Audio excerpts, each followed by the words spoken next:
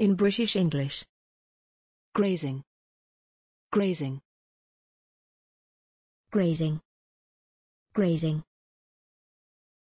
grazing, grazing, Examples in phrases and sentences.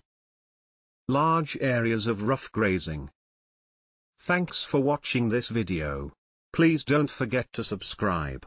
You can find similar videos for each and every English word in the dictionary on our website.